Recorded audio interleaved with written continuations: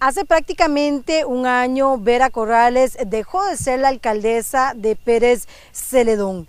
¿Qué ha pasado con esta joven generaleña, tanto en su vida personal, profesional y también a nivel político? SN Sur Noticias tuvo la oportunidad de conversar con ella y esto es parte de lo que nos contó.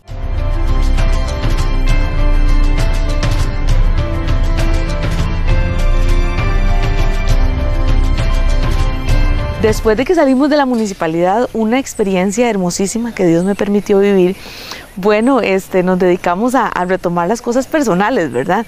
Incluyendo la parte este, de, trabajo. Yo soy educadora, bendito sea Dios, he estado activa en ese campo, dando clases, aprendiendo montones de los chiquitines de la escuela y también este, eh, sacando tiempo para mí porque hemos dedicado pues esta etapa, mi esposo y yo, para este, la gestación. Eh, en este momento tengo eh, ocho meses y medio de embarazo y estamos muy contentos. Entonces en eso hemos estado cuidando la pancita eh, y trabajando, preparándonos también. Empezamos a, cursar una maestría y, bueno, este, que de momento está en pausa, pero, pero sí este, preparándonos y, yo creo que siguiendo adelante con, con parte de, de esa vida personal que Dios nos ha permitido desarrollar.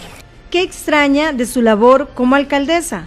Yo soy una persona muy sociable, digamos, siempre he sido eh, una persona muy activa en eso, digamos, en las relaciones con la gente, con las señoras, con los chiquitos, con los adultos mayores. Creo que esa es una de las cosas que, que más extraño, recibir ese cariño de la gente, que a pesar de que me los encuentro, cuando ando haciendo los mandados me encuentro gente de las comunidades, me han invitado, he asistido a varias comunidades y entonces uno recibir ese calorcito de la gente, yo creo que es lo, como, lo que uno más extraña de eso. ¿Se llevó enemigos? Pues yo creo que no hay manera de quedar bien al 100%, eh, pero estamos muy contentos de saber que por lo menos en mi corazón no hay resentimientos de ningún tipo contra nadie. Obviamente todavía eh, estoy lidiando con las consecuencias, digo yo, de, de, haber estado en un puesto tan importante, eh, resolviendo, terminando de resolver procesos, denuncias, por ejemplo, que, que, aparecen por ahí, pero gracias a Dios todo se ha resuelto de la mejor manera y entonces este, uno eh,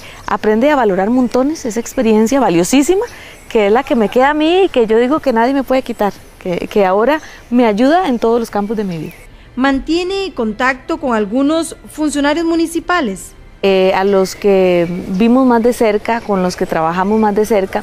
Obviamente este, hay quienes seguramente este, están más cómodos ahora o estaban más cómodos antes. Entonces uno no puede decir que el 100%, pero casi con todos nos llevamos muy bien.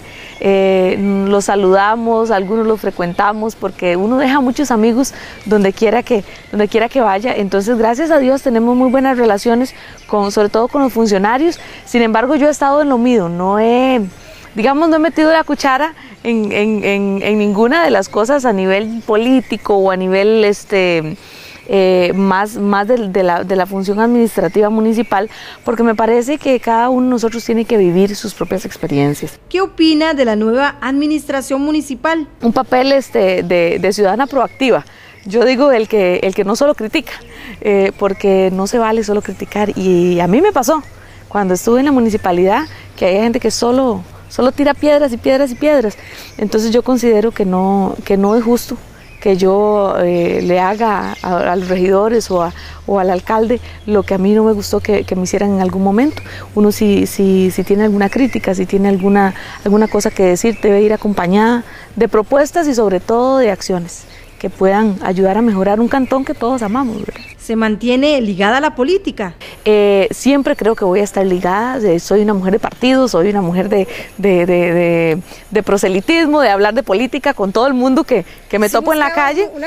Nosotros estuvimos trabajando en esta campaña, no, no, no como yo quisiera, Carmen, porque la la condición del embarazo pues no me permitió hacer una campaña tan activa, pero sí estuvimos trabajando con la dirigencia comunal, estuvimos trabajando con el partido, igual que muchos compañeros lo hicieron ahora en, en los procesos. ¿Vivió una etapa difícil como alcaldesa? El cantón completo es testigo de las cosas que vivimos, ¿verdad? Y que sin embargo este, fueron feas, muy feas, como usted lo dice, vivimos momentos, claro, uno se sentía perseguido, se sentía, como usted lo dice, insultado muchas veces, eh, que le faltaran el respeto, que le gritaran, pues no es nada bonito para ninguna persona, o sea, yo creo que nadie, nadie le se lo merece. el respeto, le han hecho persecución? Gracias a Dios, yo siento que no, yo siento que no, y llega un momento, Carmen, donde uno este, ya no está dispuesto a permitirlo, porque, porque uno sabe que, que actuó eh, con buenas intenciones eh, y no tiene por qué permitir que, que, nadie pues le venga a insultar ni a decir nada. Ahora eh, como le digo, viviendo una etapa muy tranquila, pero eh, toda esa parte fea también ayuda a formar el carácter. Yo lo veo de, de, de una forma positiva, ayuda a, a, aprender un montón. Entonces nos damos cuenta de que a pesar de que hubo momentos de, de claro, de lágrimas, momentos de muchas alegrías, pero momentos de muchas tristezas, eh, como usted lo dice, el plebiscito, todo lo que pasó, eh, cosas históricas que tenemos que, que, que recordar siempre en este cantón eh, también son experiencias valiosas que podemos sacarles el mayor provecho y eso es lo que yo trato de hacer de todo lo que me sucede, a pesar de que sea este, también eh, cosas no tan positivas. Entonces eso es lo que trato. De momento, como le digo, tranquila, hay gente que he vuelto a ver y que, y que, y que saludamos con muchísimo cariño, hay gente que pues no le hace a uno buena cara, pero eso es parte también de, de, de la vida. Yo como le digo, en mi corazón no hay ningún resentimiento contra nadie porque, porque yo creo que cuando uno guarda cosas feas, eh, lo que hace es hacerse daño a uno mismo y traerlas para la casa y traerlas para la familia. Entonces no, no hay ninguna razón para hacerle daño a la familia que uno tanto quiere, entonces mejor eh, sanamos las heridas y seguimos adelante aprendiendo de ellas. Y es que aquí específicamente Vera Corrales nos habló que no dejará de luchar, se mantendrá participando en los procesos políticos para seguir apoyando a la gente quien siempre le ha dado la mano. Ahora Vera Corrales disfruta de su maternidad y asegura que su paso por la municipalidad fue una gran experiencia.